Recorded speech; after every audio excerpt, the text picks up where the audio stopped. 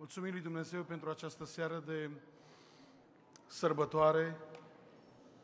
Într-un mod sincer, mulțumesc lui Dumnezeu pentru fiecare frate și soră în parte. Mulțumesc Domnului că împreună suntem uh, pentru prima dată în seara dintre ani în templu, în casa lui Dumnezeu. De aceea mă rog lui Dumnezeu ca Domnul să binecuvinteze întreaga biserică și împreună să spunem amin. amin. Înainte de a vă chema din nou la rugăciune, oprind orice altă mișcare. Aș vrea fiecare dintre noi să avem un moment de rugăciune. Anul 2020 a fost un an al pietrelor, un an în care am suferit mult.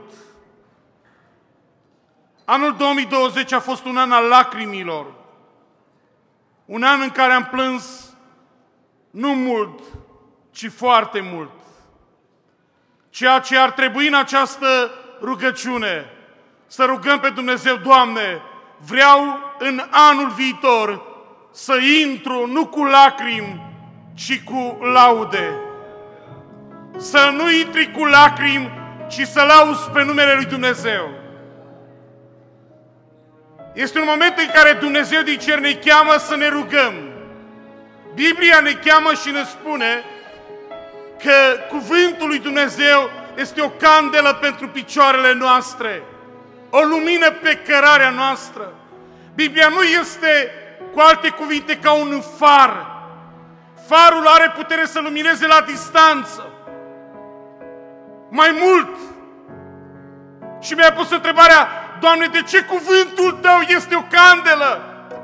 Pentru că Dumnezeu va lumina fiecare pas al vieții tale. Dumnezeu este cu tine la fiecare pas în care tu îl faci. Dacă vrei să intri înaintea lui Dumnezeu, Dumnezeu te cheamă să intri în rugăciune și înaintea lui Dumnezeu să spui, Doamne, ceea ce te rog înaintea ta în această seară, te rog, dă-ne prezența ta, Doamne, iar prezența ta să fie în biserică, pentru că împreună noi vrem să cântăm cântarea în care să strigăm cu momentul de a lăuda pe Dumnezeu. De aceea chem cântăreții să oprim această cântare și să cântăm cântarea întreaga biserică să lăudăm pe Dumnezeu. Este un moment în care să chem, Doamne, vreau lumină pentru fiecare pas al vieții mele. Dacă anul care a trecut peste mine a fost un an mai greu. E nevoie de consacrarea ta, de timpul tău, de dedicarea ta, de implicarea ta. E nevoie ca viața ta să fie pusă în mâna lui Dumnezeu. Iar Dumnezeu din cer să atingă ființa ta. Dacă până în prezent inima ta nu este încă aprinsă, lasă-L pe Dumnezeu să te aprindă cu prezența divină și să simți din putere prezența divină, să strigăm lui Dumnezeu, Doamne, în ultima zi a anului 2020, vreau să spun aleluia, vreau să lau numele Tău și vreau să-ți mulțumesc că sunt în picioare, că nu sunt îngenunchiat, că nu mi-am pierdut mărturia, că stau înaintea Ta. Toată biserica cântăm aleluia!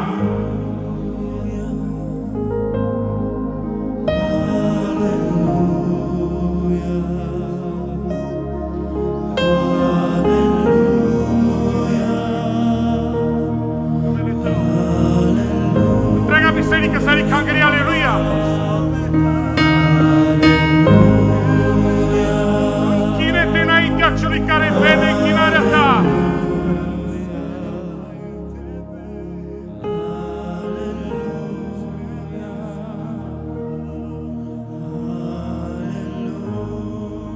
Întreaga biserică înălțăm numele Domnului.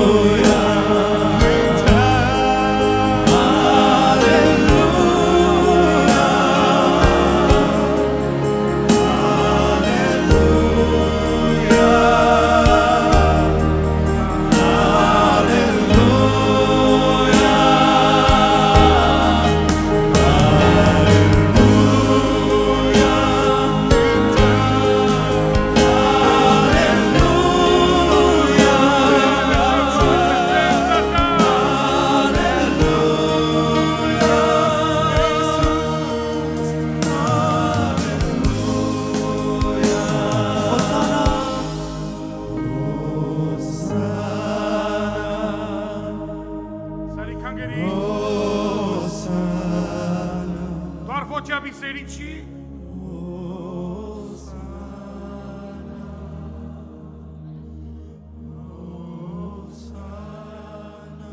Aleluia.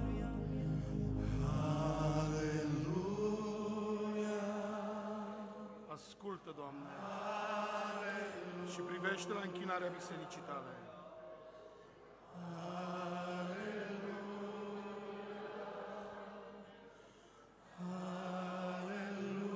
Anul în care ai plâns, Dumnezeu te-a ajutat. Anul în care ai suferit, Dumnezeu a fost lângă tine. Momentele grele din viață, Dumnezeu te-a izbăvit. Este strigătul de laudă în care Dumnezeu te iubește. Mulțumim, Doamne, că te-ai îndurat de noi și că suntem în templul Tău cel Sfânt.